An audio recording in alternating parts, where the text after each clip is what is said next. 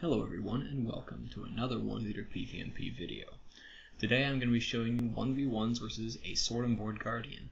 And I'm not using my rank 10 War Leader. No, today I have another War Leader entirely. He is still on the Landroval server, but he is only rank 3. Uh, this is the War Leader that I created for the Fellowship of the Creeps, which was, I was invited to by Andang, which uh, you can see that right here. I'm going to figure out which one of the 8 buttons YouTube gives you to actually let you uh, link to other channels and videos and playlists and stuff like that. Anyway, uh, to be able to have this new war leader on the same server as my rank 10, I had two options.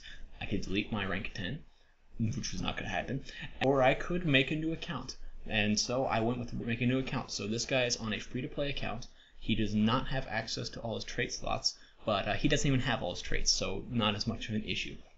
Now, uh, these whole uh, this, these few couple rounds of 1v1s were all spawned by a conversation in GLFF where uh, some people were debating back and forth, and somebody was saying sword and board guardians were useless, and this guy was defending it, and I jumped in and I had comments a, couple times stuff. I made a, the comment that I always laugh at people who say sword and board guardians are useless because my war leader does just as much damage as a sword and board guardian. And that's in Brawler's stance typically. And I found that that has remained relatively true throughout every expansion that I've played in. I did not play a war leader in Shadows of Angmar. I suspect it was still very close there. Shadows of Angmar had other issues and stuff. Moria, Mirkwood, Isengard, Rohan. I've found that it stays very much the same level as far as a well-built sword and board guardian and a, a decent war leader. I'll, but I'll get to talking a little bit about that later. Anyway, uh, what he was talking about though was that he had uh, some fun tactics for 1v1s, which uh, Sword and Board Guardian, most people do not realize this. Sword and Board Guardian is very viable for one versus one in PvP. It suffers from many of the same problems that a War Leader suffers from, where you can't keep people from running away from you, you don't kill them very fast. But if you're built correctly, if you've managed to get the right armor set bonuses, uh, you've got proper incoming heal rating, then your catch of breath heals you for quite a bit, and that keeps you sustainable and keeps you alive. It allows you to outlast your opponents. And what uh, who is our opponent, uh, was talking about was that he actually outlasts his opponent's power pool, which uh, I talked about in the last two videos that I put up, and he beats them because they run out of power. And then he said that he could do that with anyone who was approximately the same rank or lower than him. Uh, at which point I asked him what rank he was, and he said six, and I said, okay, I'll bring out the rank three. Uh, that's close enough. And then the guy from earlier, who disagreed strongly with me about um, my statement about Guardian War Leader DPS, and started saying nonsense like a rank 11 War Leader can hit a 6k hit and stuff like that. Uh, then he was all, oh, you've only got a rank 3 War Leader, no wonder you said that.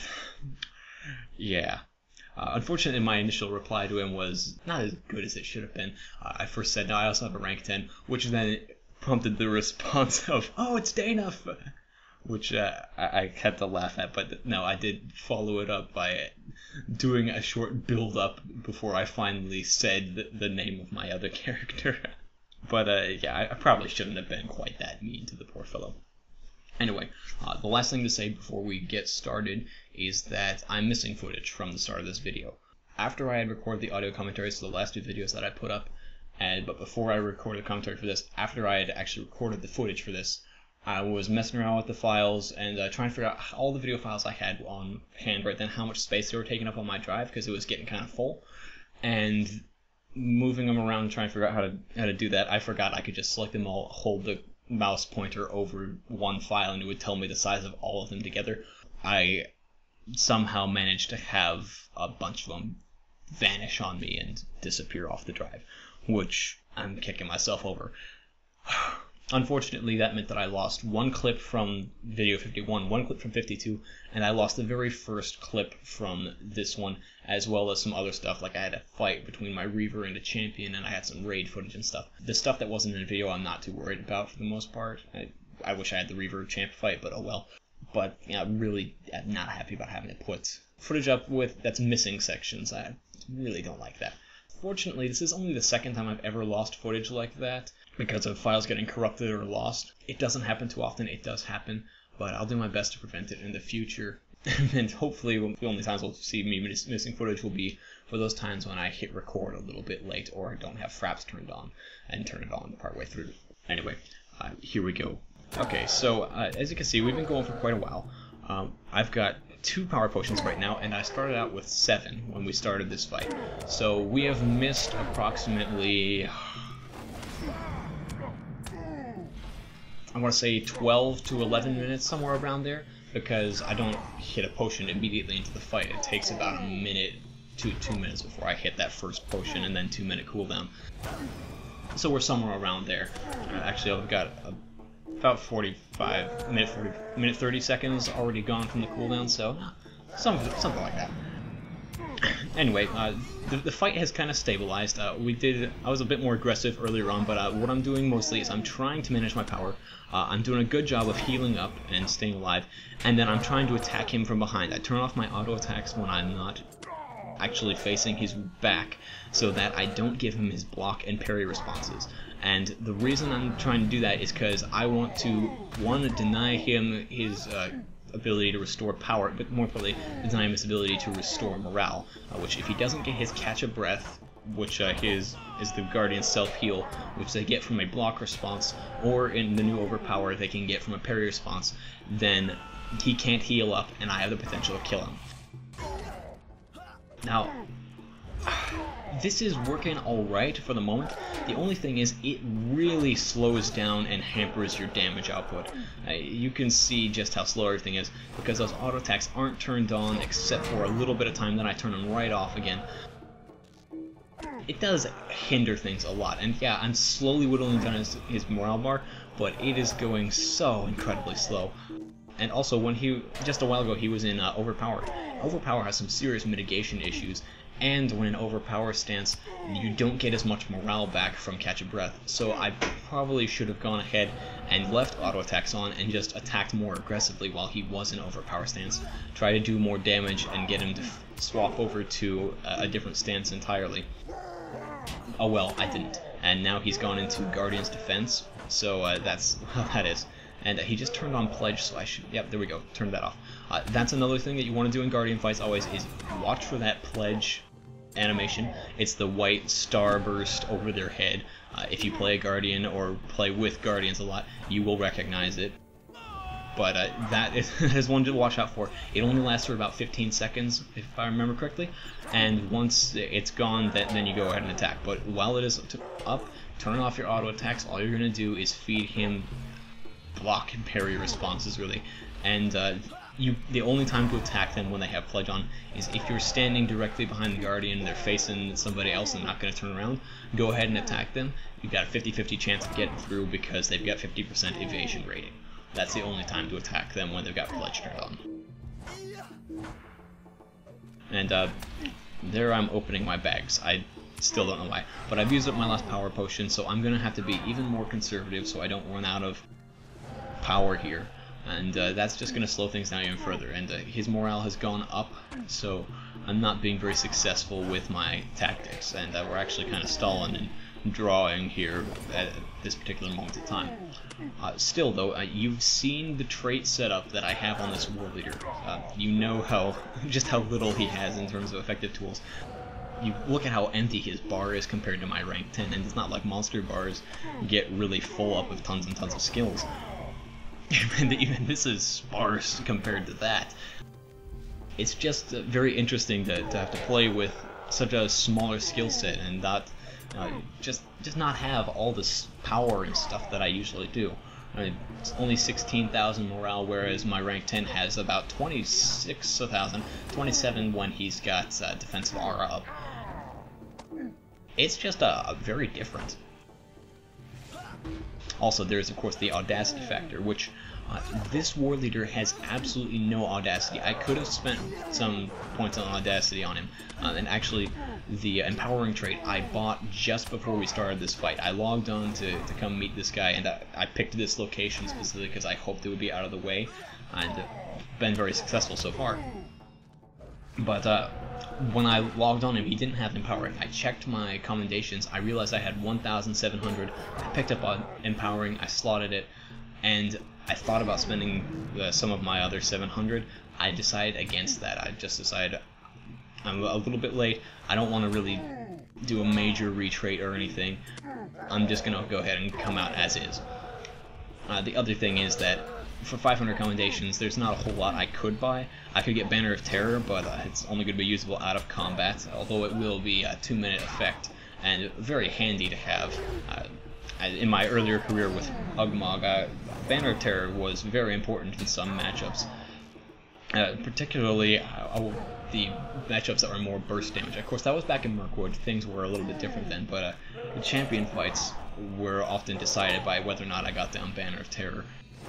Especially once once I had it, uh, figured out a system for how to actually fight champions. Guardians were also very important to get Banner of Terror down for a long, long time because uh, Guardians always run an overpower stance, it seems. And with overpower, before Rohan, really, the defining characteristic about overpowered Guardians was that they suffered from power issues, and that was how you beat them was you beat their power bar. And the Banner of Terror was just so good for beating the power bar because they had to come and just do a straight up attack. Um, they had, had to try to burst you down, so you get Banner of Terror down, you would stand underneath that thing, wipe out the regeneration, wipe, take a chunk out of their power bar right at the beginning of the fight, and then you would just heal up, let them attack. They they had they would spend all their power very rapidly. They'd go through their cooldowns. You would chip away at their health bar at, at the same time with auto attacks and stuff, and then they would hit the bottom. Uh, Banner Terror would still be up at that point in time, and then you would turn on brawlers and just go at it. Uh, there was only ever one or two Guardians I ever fought that could actually stand up to that back in Mirkwood. Now, uh, the, the, the, Guardian is just in such a weird place. I want to spend some time talking about them for a little while. Guardians, they never seem to, to realize that Sword and Board is a viable option. It, it always strikes me as very strange, just how much uh, Sword and Board is, I want to say vilified, actually in terms of a playstyle for the Ettenmoors, when it does have a proper place, and not just for shield walling your healer. We called it a draw there, and uh, he actually retraits and comes back, uh, and that's after a trip to GLFF, talk it over a little bit. Uh, I did look at his traits. The one that changed, I think, was he slotted in reactive block this time, so I will be taking reflect damage every time he blocks an attack. And uh, for his trait setup, he actually has, see if I can remember this correctly, uh, he's got Warrior Fortitude. He's got uh, the the leader, the Defender of the Free trait for improved thrill of danger. Uh, harasser.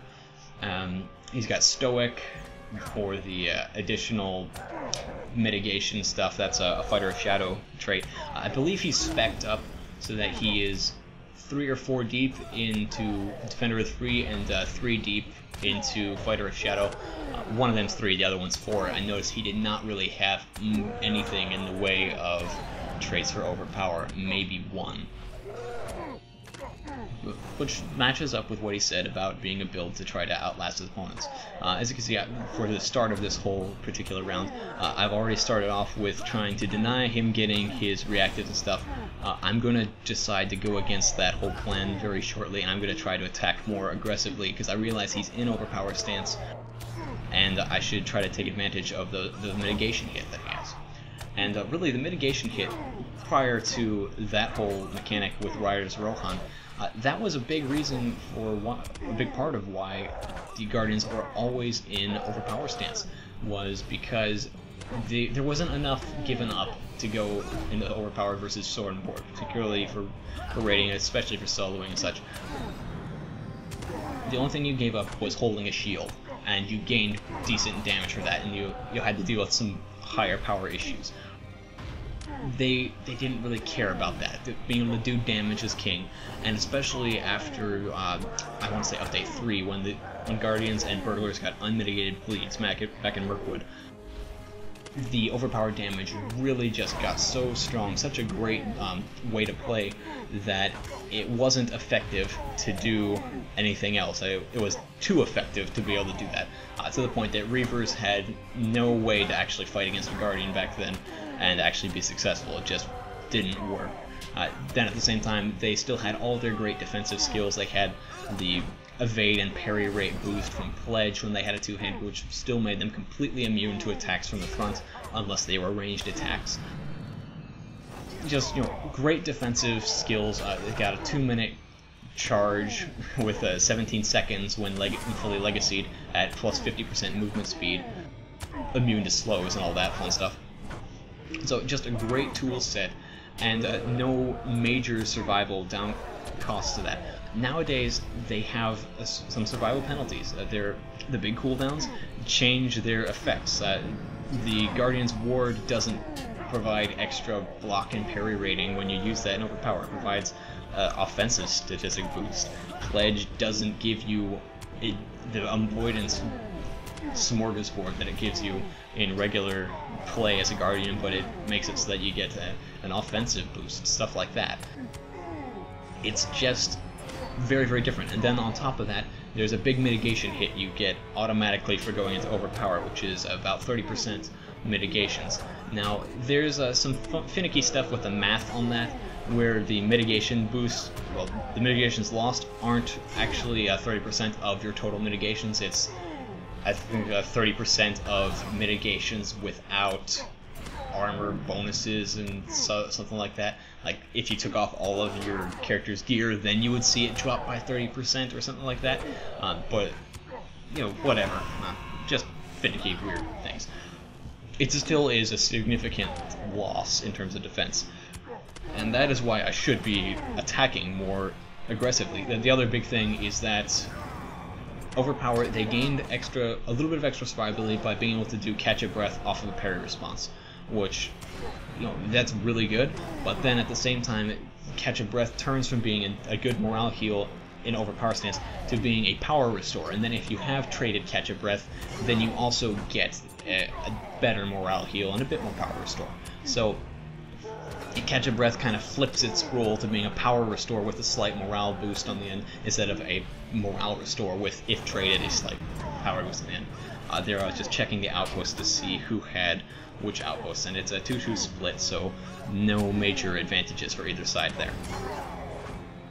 I'm, he's run himself very low on power, so now is a really good time to actually get on the offensive. Um, I should go ahead and turn on my auto attacks here as soon as I realize it. Uh, he doesn't even have enough power right now to actually use Catch a Breath, so this is when I should go ahead and attack as aggressively as I can. Uh, another thing to note is that he does not have deflected or parried blows in his build, which those allow you to regain power off of a block or a parry, uh, or even partial blocks and partial parries as a Guardian, which can really do a lot for your power survivability and sustainability, um, especially if you want to be the outlasting your opponent's power bars and uh, trying a, a play more like this, which one versus one Sword and Board Guardians just are great. Uh, it, it is a wonderful thing to see. I wish I saw more of it. I I remember uh, there was one guardian called Borfin back in Mirkwood who uh, he he spent a long time trying to figure out how he was actually going to be able to beat me, and he tried the overpower stuff. It just didn't work. I was turtling up way too tight, and then he he basically said, okay, overpower isn't working. The only other thing I can do is sword and board and try to combine that or do that straight. And he tried both of those, and he was trying various combinations of, of dropping in a sword and board at some point, and then be able to go back and overpower and all that kind of thing, stuff to give him survivability and things. It was really, really interesting. I loved fighting Borfin because we were actually very evenly matched in many respects, where the fights would literally be decided if one person had food and the other person didn't. But if they didn't have that advantage, uh, we were very much at a stalemate level, with me having a slight advantage just because war leaders had better st- survivability sustainability, and Guardians Catch a Breath didn't heal as well as it does now back then. Uh, also, morale pools were quite a bit lower, but you know, aside from the, the sword and board, if, when he stayed in overpower, it basically I was able to win any time any fight that went that way. But uh, he, what he found, though, and what I found as well, just fighting against him, was that Sword and Board worked very, very well. It didn't work against the War Leader because War Leaders are a sustainable class. They outlast you. Uh, there's very few classes, actually, I would even venture to say no classes that play the Outlast game and will beat a War Leader at that. If, if you're trying to, to outlast the War Leader's power pool, as you can see right here with the Guardian, it doesn't work. As long as you're disciplined as the war leader about your skill use and everything, you will be able to take control of it and your power bar will be higher. Now the other thing is that for the, these matches, I actually visited the the that guy who sells stuff, uh, the Quartermaster in Gramsfoot, and they took the rank requirements off all the potions. So I went ahead and bought the best um, silver costing power potions I could, a full stack of them. So I've got uh, more power to play with because I get more from my potions, and I'm not going to run out of them.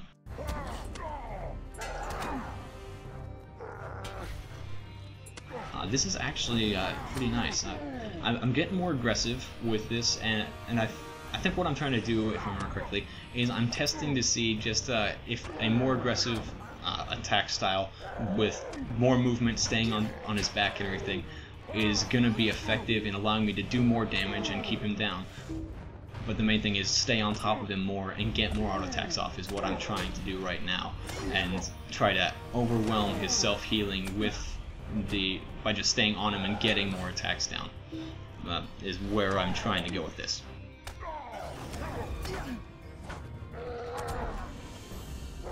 Uh, which, you know, that, that leads me to movement. Um, movement is really Ryl's uh, greatest weakness from having fought him, and, and rewatching these fights, it just is equally apparent.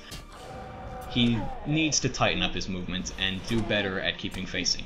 Now, obviously with the Guardian, there's a, a, certain level where you want to say, okay, I need to stay in front of them so that they can continue to give me my responses so that I can get my, my skills off. Uh, there went Pledge once again.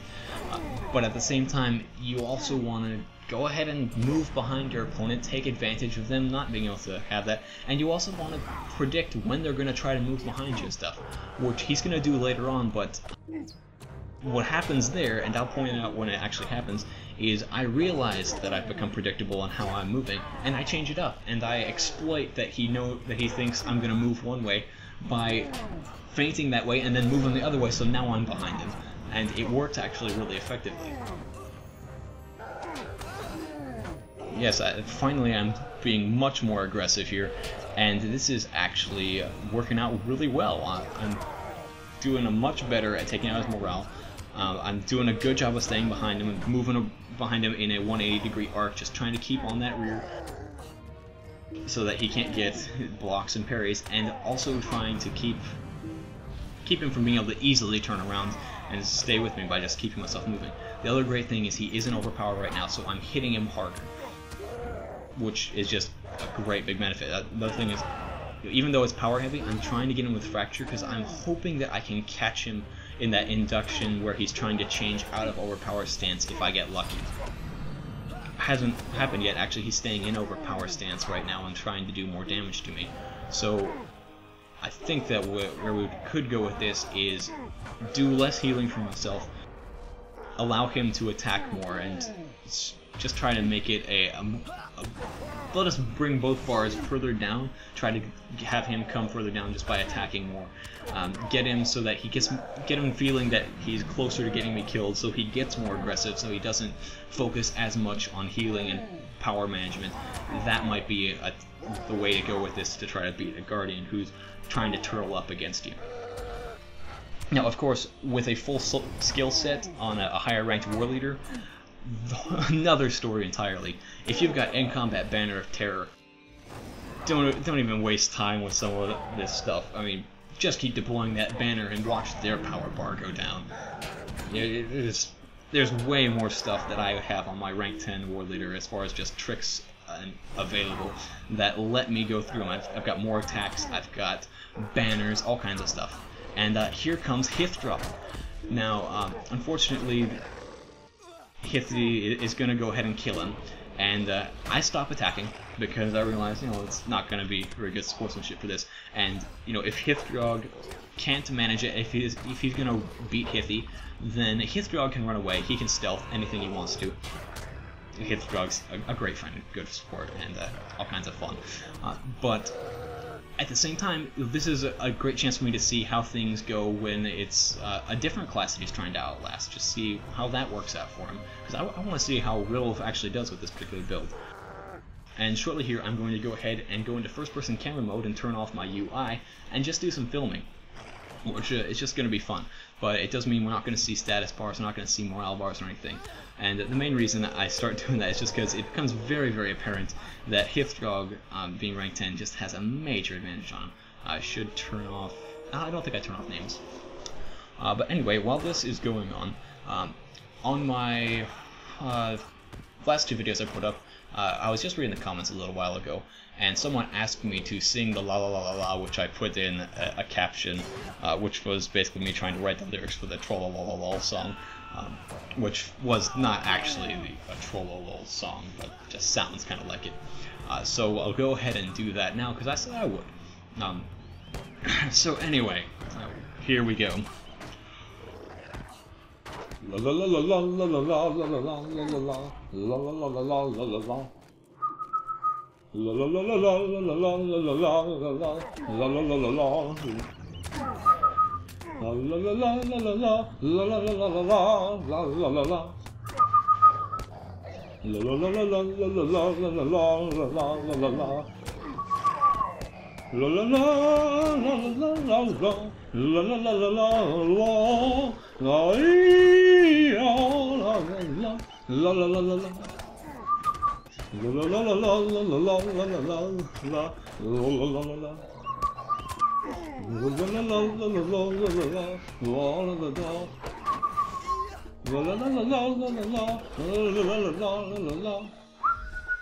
La la la la la la la la la la la la Okay, that's over. Uh, if you notice right there, Hithdraug just hit rank 11. He went from lieutenant to commander, and it was right there captured on screen.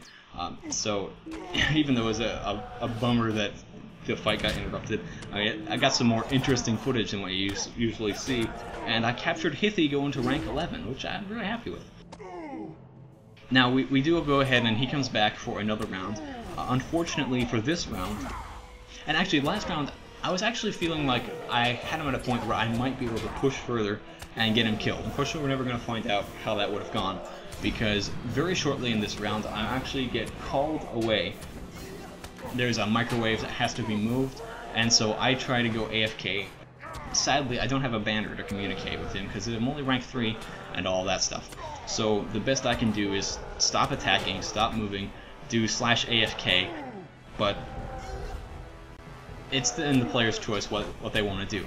And uh, he decides to stay on me. I go ahead and stop recording when that happens, but uh, he stays on me and he kills me. And honestly, I can't grudge him that because the fight did get interrupted by Hithdraug, and Hithdraug did finish him off. And I got full credit for that because of some mechanics in the Ettenmoors where things don't time out. Now, see that I'm turning off trying to go AFK and all that, so recording's about over. So uh, one death, I can't grudge that whatsoever. But still, uh, very, very fun to, to get to talk to him about uh, some of the fights. I didn't get to talk to him after the last couple ones, but I'm hoping to manage to get in touch with him later on. And uh, just great to see a Sword and Board Guardian. They're, they're such a rare breed, but they are way more effective than most people give them credit for. Most people don't even try Sword and Board. Sword and Board can be effective if you're in the raid, yeah, there, there's plenty of arguments about, oh, Sword and Board doesn't do DPS, blah, blah, blah, blah, blah. They don't hit as hard as other creeps. Yeah, they don't hit as hard as creeps. They hit just as hard as creeps do. Creeps make it work somehow. Now, obviously, the mechanics on the two classes are very different. They, they don't work the same way. But that doesn't mean that you still can't manage to make it a viable way to play and figure out how to make it work for your playstyle. I know I could go on for quite a bit talking about that whole train of thought stuff. But we've already passed way over the half hour mark and stuff. Um, so we're just going to go ahead and call it. That's all for this time. I hope you enjoyed it. I hope you uh, liked getting to see a low ranked war leader. Um, just to show you, you don't need the full skill set and stuff to be able to do the kind of stuff that you see on this channel people leave comments all the time talking about how they managed to pull stuff off with their low ranked, and now I'm showing you exactly how I do it with my own war, lo, new low ranked war leader. So uh, you will see more of him in the future, and I hope you enjoy seeing him. That's all for this time. Good luck and have fun out there. Ugmog is out.